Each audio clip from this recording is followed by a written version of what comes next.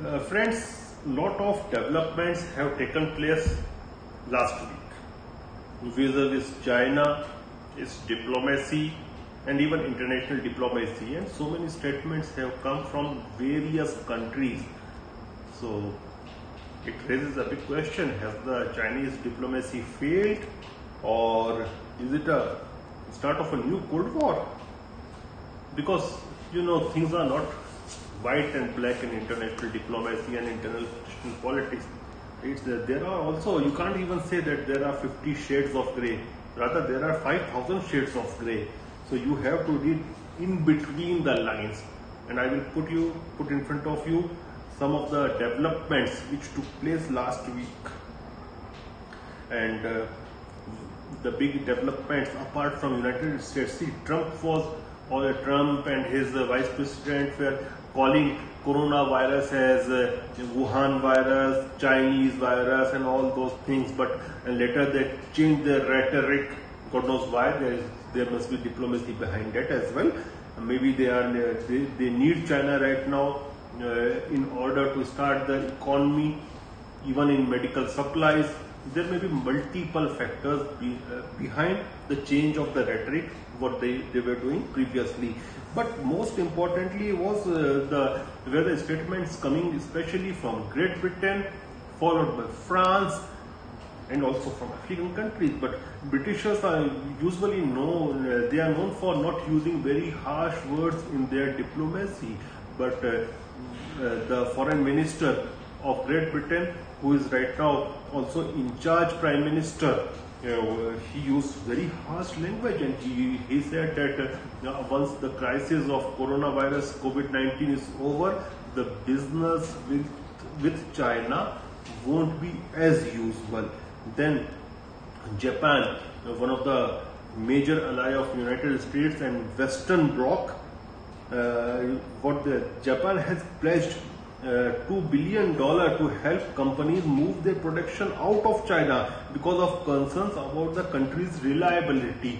And uh, where they are, they will be moving, they will try to move the production units back to Japan or to Vietnam or to Indonesia or Malaysia. So it's a financially hit back on China. Then French President Mr. Emmanuel Macron, he questioned whether China's response was a model for democracies to follow. And he says, it's his words, let's not be so naive as to say uh, it's been much better at handling this. Means you know, what he's saying, what is the meaning of all these things? He is saying in um, uh, without say without saying that uh, China is hiding many things. He is saying that the way China has handled uh, it has handled the crisis in a, in a very draconian communist manner, and it's not a very good example for the democracies. Then there had been some developments even in China. They have shown some uh, of uh, racist behavior against especially against the non-whites, especially against the Negro. Uh, there were circulations, there were topics they were discussing in the society that these people, they're black people, uh, they are they are igniting the problem of coronavirus once again uh, in China they are infecting the people and due to which they were not allowed to enter into the restaurants. They were driven out of their homes especially in Wuhan which is the one of the big commercial hub of China.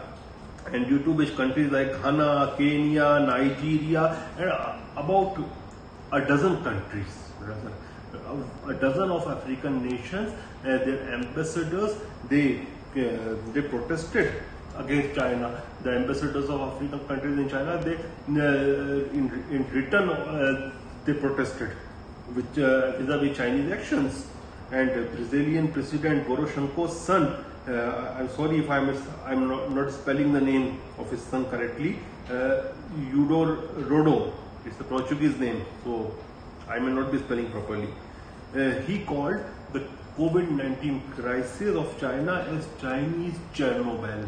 So I don't think that without uh, uh, without uh, without the mm, permission of Poroshenko, his son might be telling these words against the country.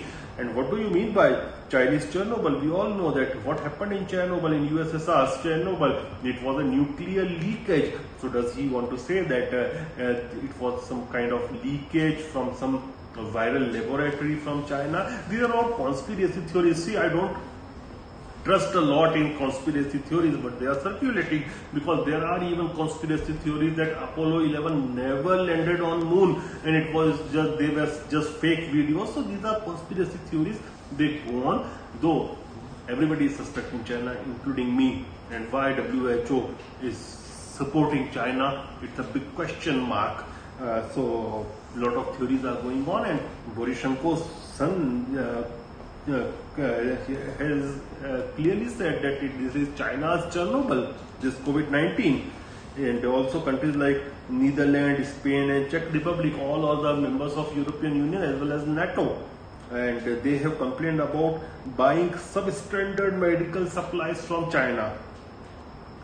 But there are other aspects also. China is also having various puppet governments like uh, and these are such governments if china will say no it's not night it's day they will say yes it's day they will if china will say sit down they will sit down. Stand up they will stand up. They will do everything as per the dictates of china. Countries like north korea is there countries like pakistan is there and not to forget there are more than a dozen countries like that in africa. Uh, we all know about the uh, the neo chinese imperialism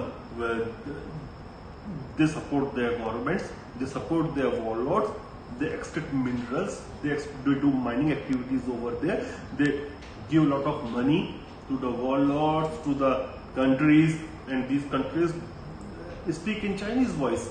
So uh, they are also having their own uh, set, uh, set of supporters. Plus one thing which was missed by mainstream media because of COVID-19 crisis, uh, this country a small country with uh, 600,000 population, uh, which is known as uh, North Macedonia. Previously, it was called Republic of Macedonia. It has joined the club, the military club of NATO, which is which is the, which is led by United States and most of the countries of European Union are part of it. It was it was trying since very long, but it was being blocked by Greece. See, they are having one claw there in NATO that uh, none, nobody, no new country can join the elite club of uh, military club of NATO uh, unless and until all the countries are ready for it. And constantly there was a veto by Greece, which is also a NATO member, uh, on condition of name of uh, Republic of Macedonia. They, they say that this country must change its name. And the reason behind that is that Alexander the Great was born in Macedonia and Greece, uh, Greek people and Greece, Greek government claimed that it is not this Macedonia, not the Republic of Macedonia, but the state, the province of Macedon, which lies there in Greece. So uh, you can understand how much the government of Macedonia, Republic of Macedonia was wanting to join the elite club, military club of NATO, that they changed the name of their country from Republic of Macedonia to Republic of North Macedonia. And now with the entry of North Macedonia in NATO, it's a big setback for Russian influence in Balkans and the uh, biggest supporter of Russia or biggest ally of Russia in Balkans which is Serbia. Now this Serbia is landlocked country. It doesn't have its uh, uh, its uh, sea. It doesn't have its air space. Like no, there is no sea space, no air space, and now it's the condition that Serbia is surrounded from all sides from uh, by NATO countries with the joining of particularly by the joining of uh, this uh, North Macedonia. Now what it, it may lead to circumstances which will push Russia more towards east that is towards China.